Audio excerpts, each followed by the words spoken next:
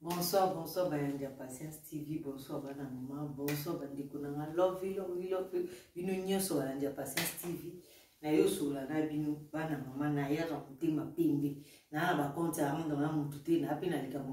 koswana na motu te nayaka kaka tosolola da la famille eza makambo ya kosolola ndeko na nga omoni eloo omona oyebisa bino omoni biso bato ya mangala na remarka ke tokomitaka baerreur buzoba mingi parce que tolingaka conseil te epuis na remarka mpe ke bato mosusu bakoma kokimana mpo na baconseil bapesi ye conseil ya malamu ayoki te asali na ndenge ne ntango mosuku oyo kobebela ye akomi oyoka bato wana soni akomi kokimakima bato wana babenge na telefone azwa te akomi koesquive mpo na soni alors c'est pas bien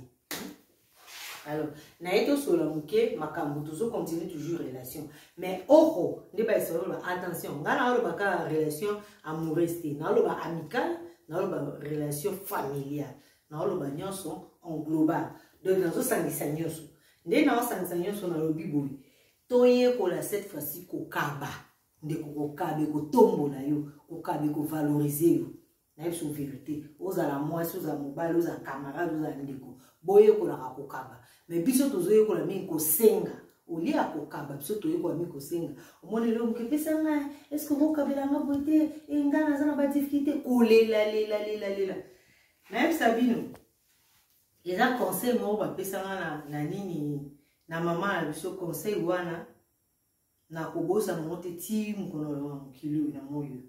conseil wana ezalaki nini mama ya biso aloba bo soki mpe na ndako no ezokauka na bapasi na bisengo kokendaka mpe partout partout koyebisaka mpe bato te ke yo ngai ya moyen te ngai ya moyen te surtout soki oza na relation amoureux to oza na mobali biso basi en général na oloba to mpe oza na mwasi yo mwana mobali ozwi problème na mobali mwasi nao na ndako obengi kamano e eh, oyebi mpe ya petit momia na bina ba petit momia na bina soyi bien te tala boye tala boye tala boye tala boye ezalaka bien te boyebi pourkoi ezalaka bien te parce que bato wana na nsima batikalaka kosala basuivi suivi na bango ezalaka nini omona ye ke tellement yo okende koyebisa ba makambo na akomi soko suivi eh, akomi demo ya suivi akomi kotuna eh, nabi e eh, ozalaka na polo na mobali mama okosukaki nde nini asengaki yo pardon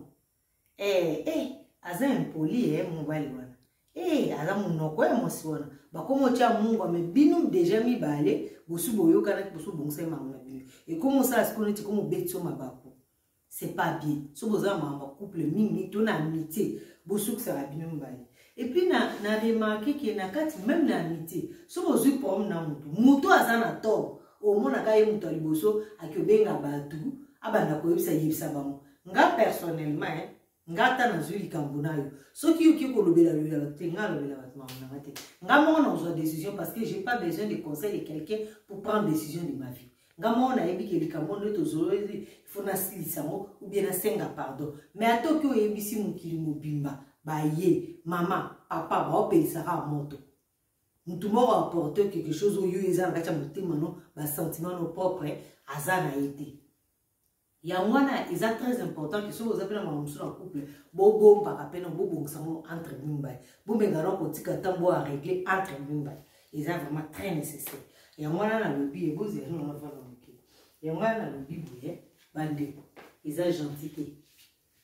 eza gentil ata moke te makambo ya kokaba nazo insiste bato na mboka na biso bazokaba lisu te ezala basi ezala mibali ezala bafani ezala bandeko bakabaka lisusu te balingi kaka kokotisa badosie kosenga kosenga senga senga mpe eyebani eh, eza esu makambo te ke moto abomba euh, je pense que vous êtes conscient alors nafungoli parenthèse ya monene bomoni bandeko na biso ya mibali nyonso boyana omoni ndeko na ngai mobali bomoni respect bosengaka mwasi ke ifo opesanga respect ngai mobali no tina meme pas droit osenga mwasi no respect respect ezalaka automatique soki yo ozo respecte ye soki ozo honore ye ozolinga ye mwasi akotosa yo respect automatique soki ekomi na bakestion neti makambo ya mbongo nde toolobango ozalaka souple ça veut dire ke ata mwasi no asalaka toyebi ke aza na bamillion yo etake mobali na responsabilité olobi te chéri en tout cas toa na fin du mois euh, prends quelque chose tu vas faire si tu as besoin de course nazoyebi soki mwasi wana loba azala aza remplaçant ya demon na kati ya mokili mais so aza mwasi neti normal nga nayebi na mokili oyo akotikala komanke yo respect te barespect wana bozosenga mwa princese basi baza baimpoli basi baza nazoyebi so impoli eyaka po quelque chose respect mpe eyaka po quelque chose tous les deux choses eza très important yango wana nazoyebisa bino makambo oyo bosala très très très attention bandeko na nga parce que bomoni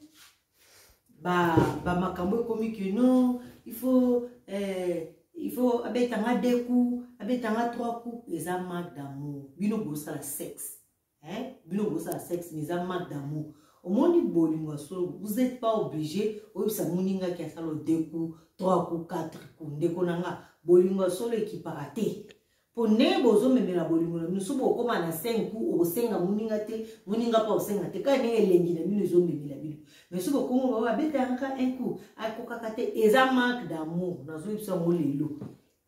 fais moi confiance eza manque d'amour nde namoni mibali bakomi soki aolinga yo e eh, nga mpe nakomi yango ti ba 5 oyo apeti nga mpe nakozwa mpe na kolala mpenza di e eh, ndeko na nga estce bolingo nga no tokosala eza ya sexe ou bien eza bolingo solo ke tokosala nde ezo apporte biso bandeko na nga makambo ebebio na biso alingo verité makambo ebebi parce que nga chaque fois soki moto aodrage nga olobela makambo wana epesanga mposa nalela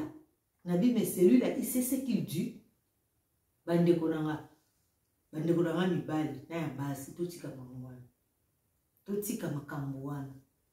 alors naofungola parenthèse mosusu ya monene parenthèse yango ezali bandeko bomoni sikoyo namoni makambo ya kobota ekomi facile mobali azolingo to mwasi oyo te tobota bandeko na nga bana oyo bino bobota wana fitire nini boprepare mpo na bana wana bana wana bozobota bango na ndenge surtout biso bato toza na bapoto ya kobota eza facile te mpo so oza kobota okende su mosala te fovaa na ndako soki fo mobali entretenir afutelo ndako asala makambo nyonso awa na poto oyoki kofutela mwasi ndako ofuti yayo ofuti mpe mwasi okoka ko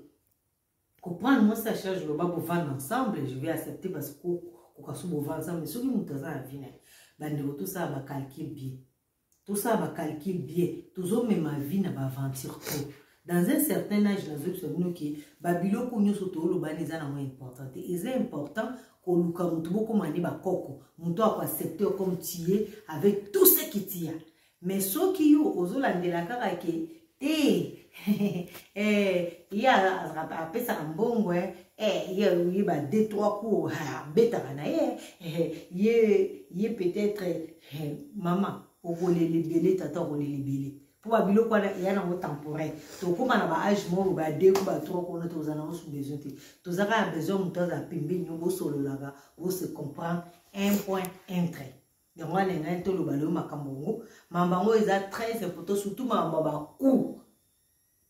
hmm? makambo ya bacour mpenza e eh, oyo na obeti o 4 cour oyo na obeti o 6 cour ngai nayebisa bino boyoka ngai naoconfese devant bino ngai motu lokola nga so oyo olingano nga soki bato lokola nga baza ebele na mokili kotangela nga kutu kute mpo soki banga ba 5 ku ba 3 wana ozobangisa nga na okima na nga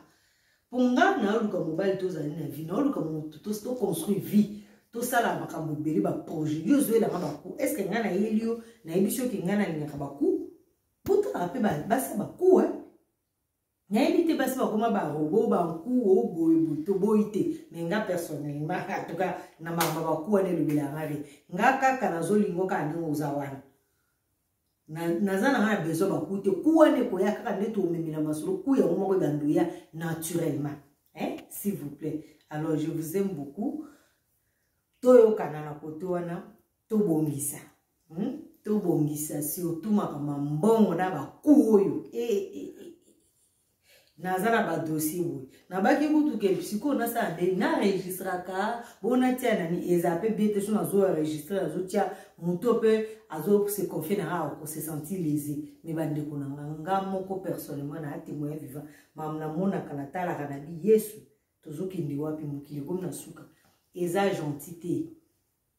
eza gentil te epuis eza na bajare ya bato mosusu basi mosusu mobali mosusu akuti yo peut-être oza mobali mwasi ya maboko pete nde tolobaka ope eza na nani oza très généré ou mobali très généreuse akomi koshina yo akomi koprofite na yo na ndenge ya mabe wana mpe tozoboya parce que motu yo olingi ye okoki mpe kosisa ye mbongo na ye te oto opose problème na yo nyonso amema ngo na mokongo te ndeko na nga epuis makambo ya baku wana tolobela bandeko na biso ya mibali mingi bandeko na biso ya mibali boyebi makambo ya baku wana makambo ya baku wana ifo boliaka mpe bien mpo bopreveni mpe nzoto na bino so bolia bien te a ah, Hey, po namonaki na Congo bandeko ya basi na mibali namoni mwasi ya mutu akufi na sango likolo ya mbetu histoire vrai elekanaki aventure na Congo akufeli mwasi mwasi ya mutu ake kolala na sango soki balalaki ndenge nini akufi likolo ya mbeto ntango basango bazwi sango azwi ye amema ye na hôpital na hôpital badeklare ke esi akufaki avant ke bayaki na ye ebembe sikoyo babengi mobali na ye mpo ya kodeklare ebembe mobali sikoyo ya kodeklare ebele mwasi auti kolala na makango makango yango na lisango sikoyo so tolandi bapratike wana nazoyebisa bino bandeko ebele bakufaka na baacte sexuele toyebi te so abetaki mpe de cour ou trois cour ou quatre cour lokola aza mpe sango ntango mosusu azalaki na mwasi te abetaki peut-être dix cour nde sere akoki te akufi toyebi te bandeko tobatela vie totika badiku totika ba, ba, ba vie ya bisenga senga ba vie ya ko maboko makasi eza na sens te vive vie na yo ya lelo lobi eza ya nzambe alors je vous aime beaucoup euh, bino nyonso bandi ya patience tv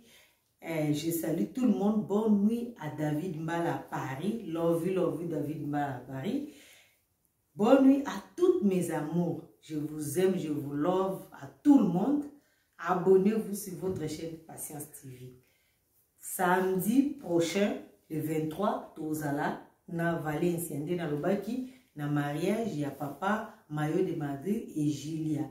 Maya la ma, Masia. Moi, si na Tozala, na mariage, kuna. En tout cas, je vous aime beaucoup. Toyokana, Tozala, bomoko, bandeko, nanga, Tovanda bien.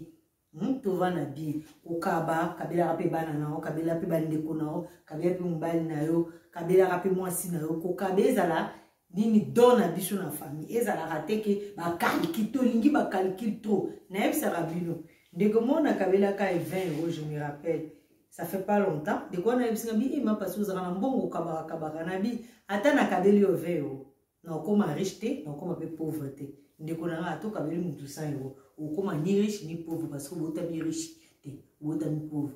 mais soki na cadre ya bolingo bozosala babiloko wana esalaka bien mobali na auti mosala ye obiya papa nasombelaki yo bacoxe mobali akosepela ata eza nango bacoxe ya cher te akosepela parce que amoni acte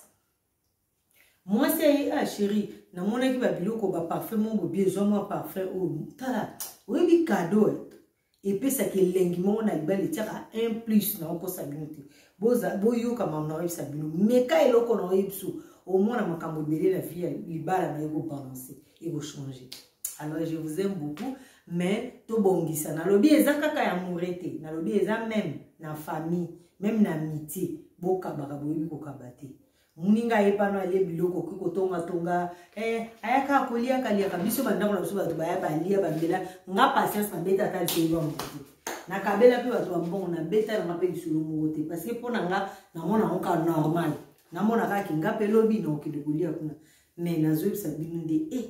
mama na ngai libala na bino e eh, de libala yango tote ya biso tolonde yango wana baba manque de respect kanga munoko e eh, elongwa kuna famille pampamba e oyo makambo mabele okwa ya na mpo na nini baparole blessant baparole dure dans l'amour eza bien te kofinga na libala eza bien te